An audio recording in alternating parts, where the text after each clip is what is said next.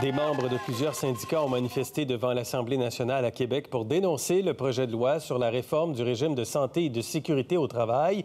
Ça n'a pas empêché le gouvernement d'adopter la loi à midi 30 aujourd'hui, la nouvelle loi qui va dorénavant couvrir tous les secteurs d'activité économique. Elle va couvrir davantage les maladies liées à la santé psychologique avec une couverture automatique pour les travailleuses domestiques, les stagiaires, les télétravailleurs.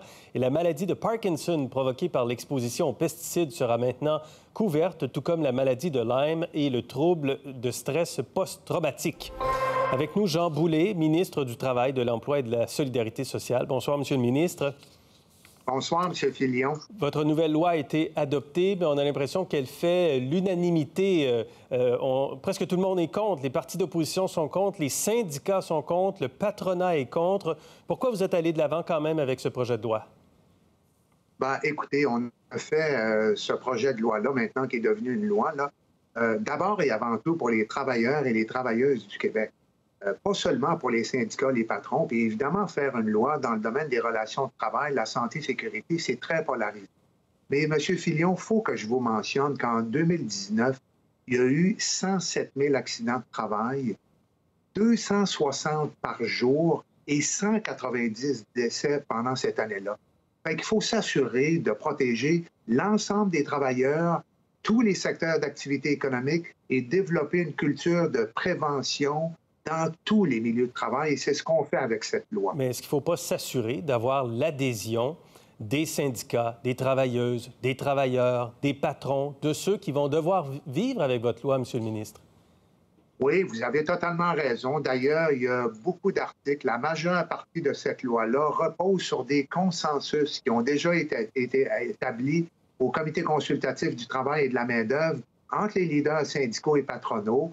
À certains égards, il n'y avait pas de consensus. On s'est assuré de prendre les meilleures décisions dans l'intérêt des travailleurs et travailleuses et que tous puissent bénéficier d'un programme de prévention ou d'un plan d'action, d'un comité de santé et sécurité et d'un représentant aussi pour les protéger. Les syndicats disent votre projet de loi va, vise à déréglementer la protection des travailleurs en réduisant toutes les normes minimales, en venant marginaliser la présence dans le développement des programmes de prévention des travailleurs. Est-ce que vous voulez mieux protéger les travailleurs? Vous allez me dire oui, mais est-ce que vous voulez surtout sauver de l'argent? Non, absolument pas. Il faut savoir que ces deux lois-là, la loi santé-sécurité et celle sur les accidents de travail, avaient besoin d'être dépoussiérées. C'est des lois qui datent de 40 ans.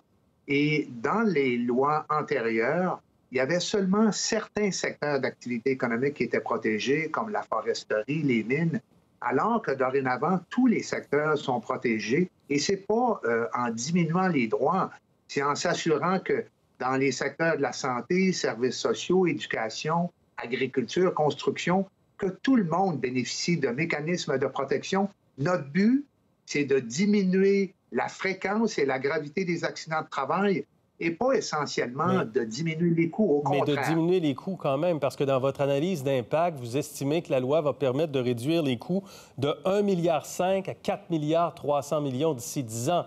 Donc, est-ce que c'est on va faire où ces gains-là? Sur les, indemnités versées? Ben, absolument. Si on diminue le nombre d'accidents de travail, c'est inacceptable qu'on ait 107 000 accidents de travail par année au Québec. Notre régime était devenu complètement désuet, dépensé, il avait besoin d'être modernisé. Et c'est sûr qu'une réforme en profondeur, après, avec des lois qui datent de 40 ans, ça suscite des insatisfactions. Et quand on s'assure de moderniser Bien, c'est pas tout le monde qui est totalement satisfait. Mais ben, c'est euh, personne en ce moment qui est satisfait, là, parce que je vous le rappelle, tous les syndicats sont contre, le patronat est contre. Vous avez fait l'unanimité là-dessus. Et euh, aujourd'hui, les syndicats disent il va y avoir moins de réunions euh, des comités de prévention, il va y avoir moins d'heures prévues pour les comités de prévention. C'est la CNE-SST qui va décider. C'est exact, ça? Non, c'est pas tout à fait exact. Puis, comme vous le savez, quand on fait une commission parlementaire, on écoute les groupes, on a fait des consultations particulières, j'ai eu des dialogues avec les leaders syndicaux, les leaders patronaux. Évidemment, on s'est assuré qu'il y a des amendements à notre projet de loi et la loi, finalement, répond aux intérêts. C'est sûr qu'on voudrait avoir plus d'un côté, on voudrait avoir un peu moins de l'autre côté, Mais je vous dis, mon guide ultime, c'était de m'assurer que tous les travailleurs et travailleuses soient protégés. Vous l'avez mentionné, on a bonifié la liste des maladies professionnelles présumées avec les troubles de stress post-traumatique, avec des cancers pour les pompiers combattants, la maladie de Parkinson, la maladie de Lyme et euh, les travailleuses domestiques, les stagiaires. Il y a une couverture qui est vraiment complète. Mais pourquoi? Pourquoi, pourquoi les syndicats ne sont pas d'accord et pourquoi le patronat vient vous dire c'est trop coûteux, c'est trop généreux, c'est trop long? Pourquoi il n'y a pas d'adhésion à ce que vous avez adopté aujourd'hui, Monsieur le ministre? Bien, il y a une adhésion, il y a un consensus, comme je vous mentionnais, à l'égard de plusieurs sections de cette loi-là, tant des syndicats que des patrons. Encore une fois, ce qui nous guidait, c'est la protection des travailleurs et des travailleuses. Là où il n'y avait pas de consensus, à l'occasion, oui, les syndicats demandaient plus. À certains égards, les, patrons demandaient moins.